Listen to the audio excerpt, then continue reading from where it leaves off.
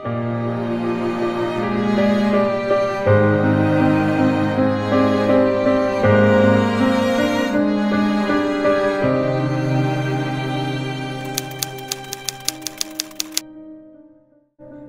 আসা গ্রিলে, ফেলে আসা স্মৃতিগুলো আজ ডাকছে।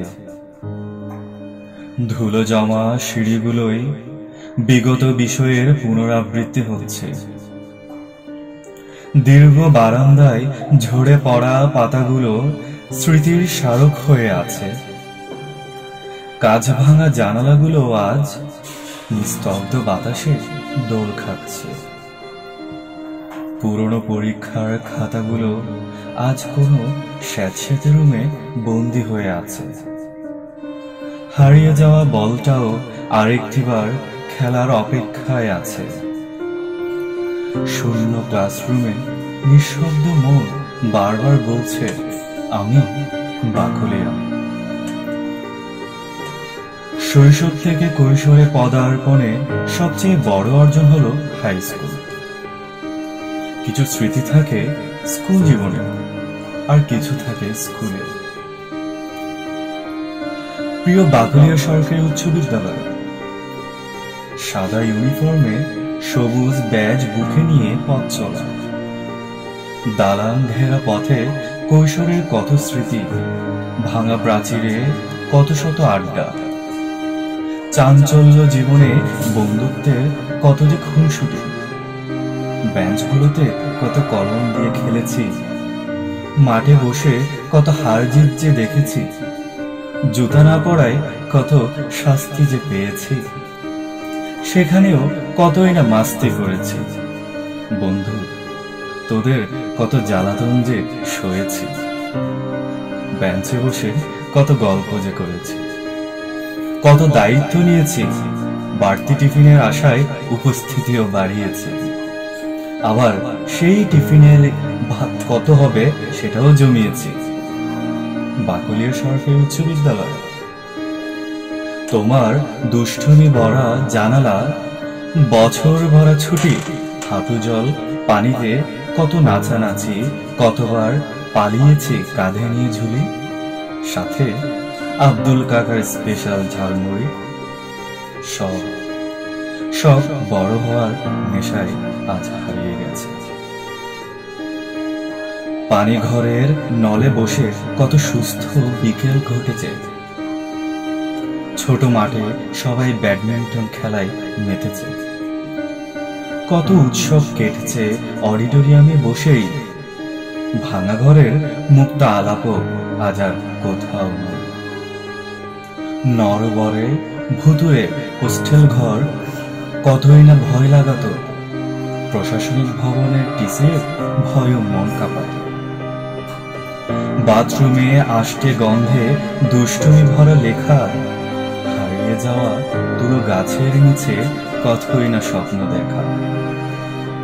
চিরচেনা কত দালান আজ পরিত্যক্ত, তাদের স্মৃতিতে হৃদয়ে যে আজও সিক্ত।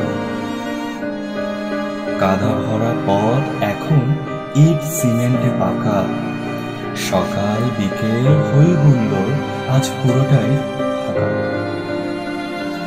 নতুন সাজে ক্লাসরুম, প্রাঙ্গণ দালান বাকলিয়া সরকারি উচ্চ বিদ্যালয় তুমি যে রূপেই থাকো না কেন, আমি তো বাকলিয়া। একজন গর্বিত বাকলিয়া।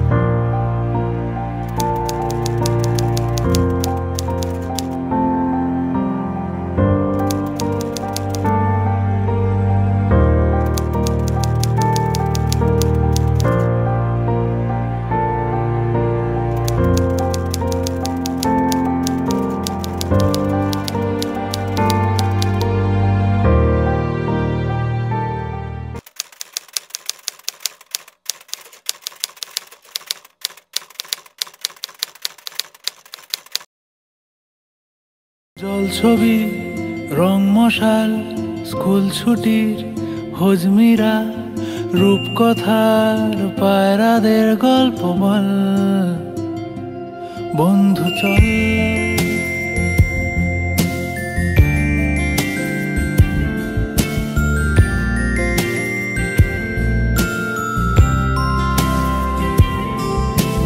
রামধনু, ঝালমুড়ি, হাফ টিকিট ভাব কৃষ্ণনার চুরমুরের গল্প বল।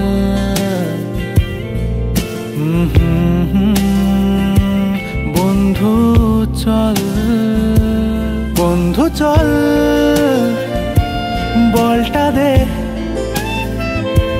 রাখব হাত, তোর কাঁধে গল্পেরা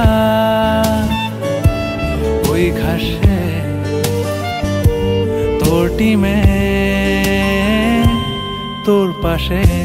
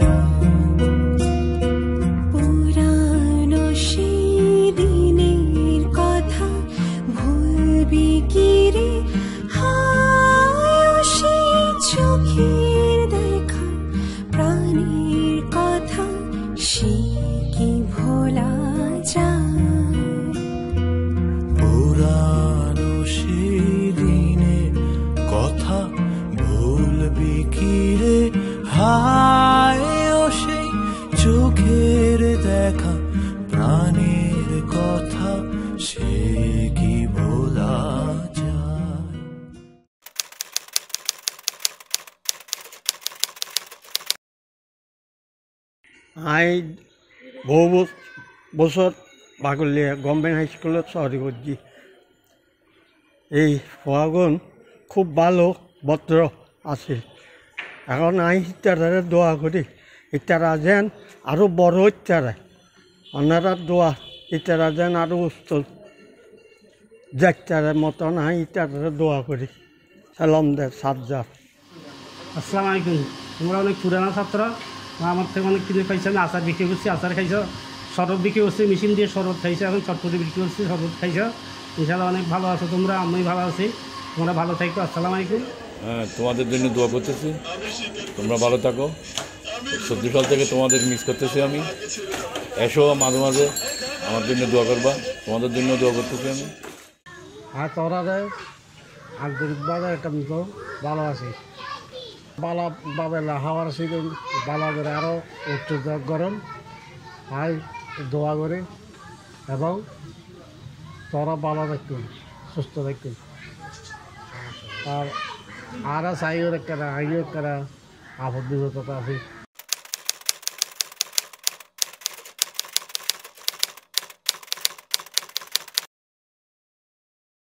বাকলি স্কুল স্বপ্নের বাকলি স্কুল। আমার জীবনের একটা উল্লেখযোগ্য জায়গা জুড়েই আছে বাকলি স্কুল। চট্টগ্রাম মহানগরে অবস্থিত অন্যান্য যে সরকারি স্কুলগুলো আছে, বাকি আটটি থেকে বাকলি সরকারি স্কুল একটা অনন্য ভূমিকা পালন করছে। এই অর্থে যে বাকলি সরকারি স্কুল একমাত্র স্কুল যে ছেলে এবং মেয়ে উভয় শিক্ষার্থীকে কি শিক্ষার্থীর মধ্যে শিক্ষার আলো বিস্তার করছে। আমি পাঁচ বছর বাকুলি স্কুলে প্রাতঃশাখায় কাটিয়েছে এবং সেখানে ছাত্রীরা পড়াশোনা করতো। এবং আমি চেষ্টা করেছি আমি এই সময়কালে তাদেরকে শিক্ষা বিস্তারের পাশাপাশি মানুষ হয়ে গড়ে ওঠার এবং নারীর উপরে উঠে মানুষ হিসেবে নিজেকে দেখতে পরিচয় দেওয়ার জন্য তাদেরকে উৎসাহিত করা, অনুপ্রাণিত করা এই কাজগুলো করার জন্য আমি চেষ্টা করেছি। জানি না কতটুকু সফল হয়েছি, সেটা ছাত্রীরাই বিচার করবে। কিন্তু চেষ্টা করেছে যে তাদেরকে, তাদের অধিকার সম্পর্কে সচেতন করে তোলার জন্য। একজন মানুষ হিসেবে যাতে নিজেদেরকে সে তারা গড়ে তুলতে পারে এবং এই সমাজের জন্য, রাষ্ট্রের জন্য যাতে কিছু করতে পারে, সেই বোধটুকু তৈরি করার জায়গাটাতে আমি কাজ করেছি, করার চেষ্টা করেছি। তোমাদের কে কেমন আছো? কে কোথায় আছো? কে কোন কোন ইউনিভার্সিটিতে পড়ো? কোন কলেজে পড়ো? কোন বিষয় নিয়ে পড়তেছো? যে যে বিষয় নিয়ে পড়ো, সবাই ভালো করার চেষ্টা করবা। কোন বিষয় পড়ছো এটা পড়ো না। তুমি যেটা নিয়ে পড়তেছো ওটাতে ভালো রেজাল্ট করতে হবে। ওটা ভালো রেজাল্ট করলে তুমি তোমার লক্ষ্যে বসতে পারবা। ছাত্রকে সম্মান করবা, গুরুজনকে সম্মান করবা বাবা মাকে সম্মান করবা, ফ্যামিলিতে দেশের প্রতি সর্বোপরি দেশের প্রতি পালন করবা। এটা আমাদের কামনা। আর আমাদের এই স্কুলে অতীতকাল থেকে ভালো রেজাল্ট করে আসছে। তোমরা তাদের বরাবরের অনুসরণের চেষ্টা করবে। স্কুলের জয়নিং যদি বলি, আজকে উনিশ বছর আমার উনিশ বছরের বেশিরভাগটা সময় আমার কেটেছে বাকুলিয়া স্কুলে। আক্তার স্যারের কথা বলতে হয়। আক্তার স্যার আমাকে এত আদর করতেন, আমি ওনার, উনি কিন্তু আমাকে একটা নাম দিয়েছিলেন। অনেকে হয়তো জানে না, বাচ্চারা জানে না, কিন্তু অনেক টিচাররা জানেন। উনি আমাকে বলতেন ছোট্টমণি বলে। উনি আমাকে খুব আদর করেই ছোট্টমণি রাখতেন। মনে পড়ছে তপনদার কথা তপনদা আমাদের স্কুলের কম্পাউন্ড থেকেই হঠাৎ করে কেমন করে চলে গেলেন। বিশেষ করে বলতে চাই আমার বাচ্চাদের কথা। আমি বাচ্চা বলতে এটাই বুঝাচ্ছি, আমার ছাত্রছাত্রীদের আমি কখনোই বাচ্চা ছাড়া কথা বলতাম না। আমি বলতাম, ওরা আমাদের বাচ্চা আমাদের বাচ্চা। অনেকে ভুল করে বলতো, কি বাচ্চা কি? আপনার বাচ্চা? আমি বলছি, না, আসলে আমার ছাত্র বা আমার ছাত্রী। ওরা সবাই এটা খুব মানে এনজয় করতো। প্রিয় শিক্ষার্থীরা আমি যখন দু হাজার চার সালে অত্র বিদ্যালয়ে জয়েন করি, তখন থেকেই এই বিদ্যালয়ের শিক্ষার্থীর সাথে, এই বিদ্যালয়ের সাথে আমার ওতপ্রোতভাবে আমি জড়িয়ে পড়েছি। এই বিদ্যালয়কে আমি অত্যন্ত ভালোবেসেছি। ভালোবেসে বারবার আমি একবার এখানেই থেকেছি। এখন এই এলাকায় অবস্থান করতেছি দীর্ঘ সময় ধরে। এতে করি শুধু শিক্ষার্থী না, আশেপাশে যারা যে অভিভাবক থেকে আরম্ভ করে সুবাদ্দনী আছে যারা তাদের সবার জন্য আমার একটা অন্তরের অন্তরঙ্গ সম্পর্ক গড়ে উঠেছে। আমি আশা করব এই সম্পর্ক চিরদিন থাকবে। আমি থাকব না, তোমরা থাকবে না, কিন্তু এই প্রতিষ্ঠানের সাথে আমার, তোমাদের সবার একটা গু, সুগভীর সম্পর্ক থাকবে। আমি আশা করি তোমরা এই সেতু বন্ধনের মাধ্যমে তোমাদের জীবনকে গড়ে তুলবে। তোমরা যারা আজকে বিদ্যালয় থেকে পাশ করে বেরিয়ে গেছ এবং যারা অধ্যয়নরত আছে, তারা এই বিদ্যালয়ের সুনাম আরও উত্তরোত্তর বৃদ্ধি করবে। বিশেষত যারা বিভিন্ন প্রতিষ্ঠানে প্রতিষ্ঠিত হয়েছে, তাদেরও আমি আহ্বান করব এই বিদ্যালয়ের প্রতি সবসময় তাদের সেই আন্তরিকতা বজায় রাখতে। আরেকটা কথা বলতে চাই, যে জীবনের যে পর্যায়েই যাও, যেখানেই যাও, যেখানেই তোমরা প্রতিষ্ঠিত হও মা বাবার কথা কখনো কিন্তু ভুলবে না, কারণ একমাত্র তারা কিন্তু তাদের নিজের সুখ, স্বাচ্ছন্দ্য সব কিছু ত্যাগ করে, বিসর্জন দিয়ে ছেলে মেয়ের জন্য সব কিছু করে এমন বন্ধু কিন্তু তুমি পৃথিবীতে আর কোথাও পাবা না। বাবা মাই হলো আসলে মানুষের জীবনের সর্বশ্রেষ্ঠ বন্ধু। বাকুলিয়া সরকারি উচ্চ বিদ্যালয়ের ছাত্র যেখানেই দেখা, দেখলেই তারা মনে হয় যেমন দৌড়ে এসে এমনভাবে তারা ঝাঁপিয়ে পড়ে যে নিজেই আসলে আশ্চর্য হয়ে যায় যে কোথা থেকে কে কে আসলো। আমরা হয়তো অনেকে চেহারাও বলে গেছি, কিন্তু তোমরা কিন্তু আমাদেরকে ভুলোনি। সেটা কিন্তু আসলে আমার কাছে তো বড় হবে য- অবস্থানে যাও, স্কুল স্কুল কিন্তু তোমাদের মূল জায়গা। এই জায়গাটাকে তোমরা কখনো ভুলবে না। যদি পারো, স্কুলের জন্য কিছু করবে, যখনই সুযোগ পাও। যেখান থেকে, যার যার অবস্থান থেকে যেভাবেই পারো, স্কুলের জন্য কিছু করবে। আমি আমার প্রাণপ্রিয়, আদরের ছাত্র তথা সন্তানদের উদ্দেশ্যে আমি বলতে চাই, আমি আর শুদ্ধ ভাষায় তোমাদের সাথে কথা বলতে চাই না। আই তোরাল লয় যেন ক্লাসত যেরকম করে মস্কারি করতাম এরকম করে হই। ওই বেড়া, তুই ফরা শিখস না? ন শিখস। বুঝছি? আয়, উঠ আয়, সাই অঙ্ক ইঙ্গ সূত্র বেলেগ বেলেগ বোর্ডত চাই লেখিত না ফরার, এই ইংরেজ ফরালে হানো? আচ্ছা আচ্ছা বয়।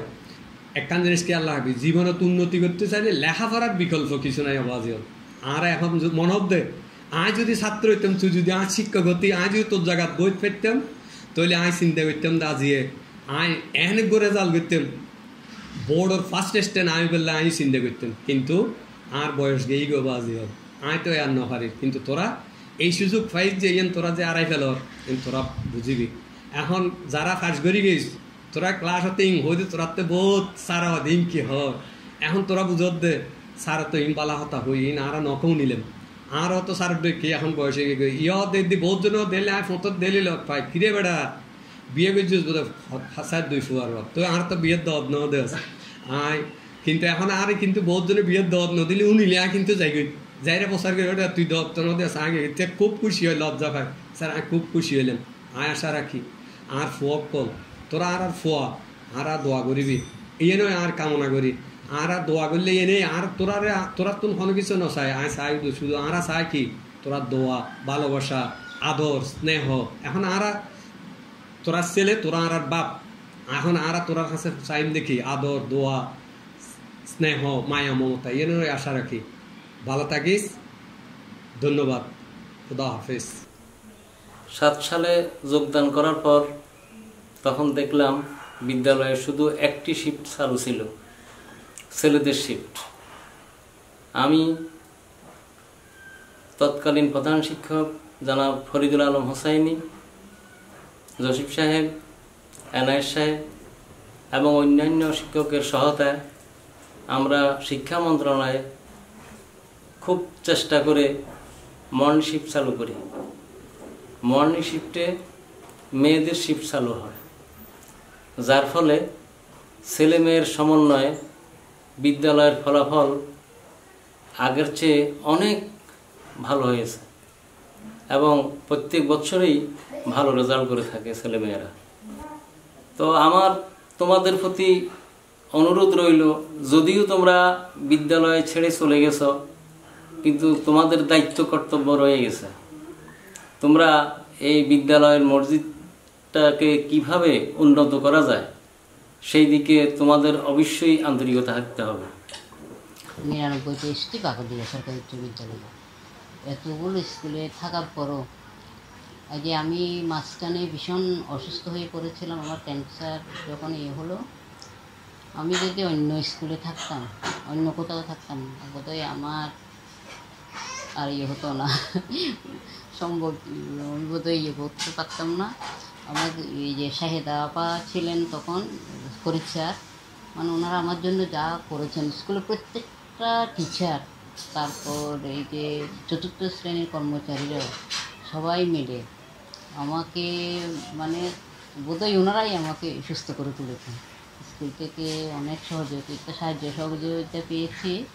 তারপর আমার ইয়ে যখন আমি কেমো দিলাম, কেমোথেরাপি দিতে হয়েছে, রেডিওথেরাপি স্কুল কিন্তু আমাকে ছুটি ইয়ে করেনি। পরীক্ষা, ফায়দা বা সব টিচাররা মিলে। ওনারা কী করেছেন বলছে যে, না, দিদি মাঝে মাঝে স্কুলে আসবে। আমি মাঝে মাঝে যেতাম, কিন্তু কোনো ক্লাসও করতে হতো না।